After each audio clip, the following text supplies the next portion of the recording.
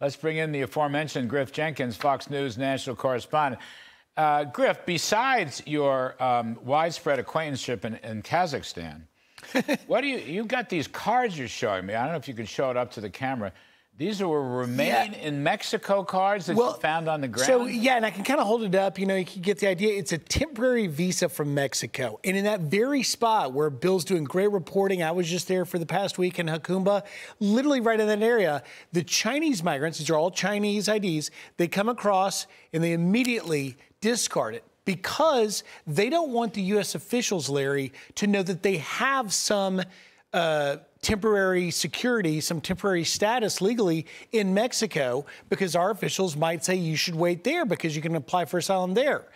They want to be in the U.S. That's the plan. This, they have no interest in being in Juarez. This was Tijuana. the legacy of Trump's remain in Mexico. So in remain effect. in Mexico worked. And, right. and President Biden could, by executive fiat, try and do something similar. They're going to need to call it something different because they don't like sure, the political. But sure. as long as you make these migrants from all over the world, and honest to God, it's like a UN conference being out there. I had Afghanistan, Peru, Ecuador, uh, Syria, along with the Chinese from all over. I had a guy from. Um, Africa, from Liberia, uh, Cameroon. It's it's unbelievable, and many of them are flying in, Larry. If you look closely at these videos that Bill's showing, you will see these Chinese, very clean dressed, not dirty. They didn't go through a Panamanian jungle to get here, and then all the way through Central America and southern Mexico. They flew right into Tijuana and walked across. I've seen them carrying stroller, uh, you know, roller bags like you would see at the airport. But the numbers, and I just I don't want to go on too long here, but the numbers that Bill was mentioning,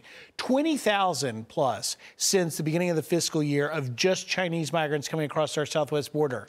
More than 90% of them are in that San Diego sector. Yep. Now, if you look back at fiscal year 2021, there were a total of 450 total migrants. I looked back at the three passages, the, the last 72 hours in just Jacumba mm. in the San Diego sector, there have been 452.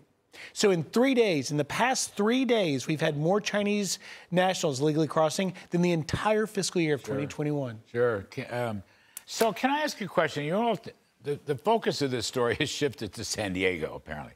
Right. Is part of this because uh, the barbed wire in Texas, the barriers they're putting up in Texas, are working?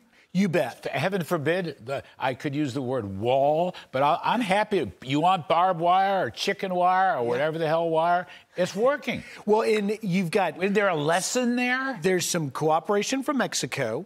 And there's what Governor Abbott's doing. And the number one comment that I got from Jacumba residents mm-hmm. that live there, that have these migrants coming across, they said, Man, I sure am impressed on what Abbott did with the shipping containers and the wire and Texas DPS hardening their border. But you look at those shots where Melugin is, it's wide open. Governor Newsom's not down there. And the difference, too, in California that's compounding this, aside from the national security risk, because I did speak to three Syrians, that's a state sponsor of terror but you have Ill, uh, uh, illegal immigrants now get free health care in California since sure. January 1st. So free health care, in the entire state of California is a sanctuary state. Sure. So once they get here, they're going to be protected.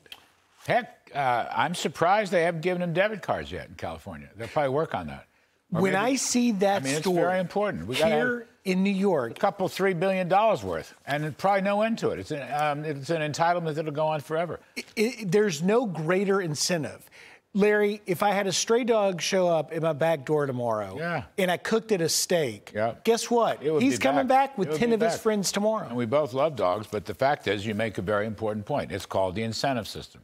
Right. And we want to keep that border open. Griff Jenkins, the best of the best.